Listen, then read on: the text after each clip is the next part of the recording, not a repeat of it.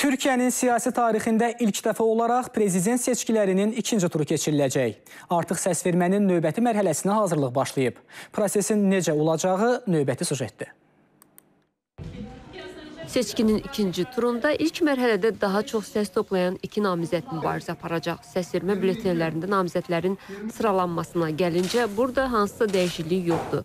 Belə ki, bülletende sırada birinci Cumhur İttifaqının namizədi Rəcəb Tayyip Erdoğan, ikinci Millət İttifaqının namizədi Kemal Kılıçdaroğlu yer alacaq. Bu dönemde de, de birinci tur oylamada olduğu gibi Cumhurbaşkanı adaylarının radyo televizyondaki konuşmaları için kura çekimi akabinde de radyo ve televizyon konuşmaları gerçekleştirilecektir.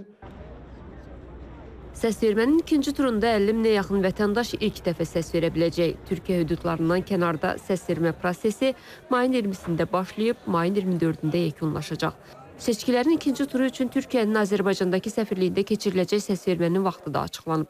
Türkiyə səfirliyinin yaydığı məlumata əsasən səsvermə 20, 21 və 22 may tarixlərində saat 08:00-22:00 arasında keçiriləcək.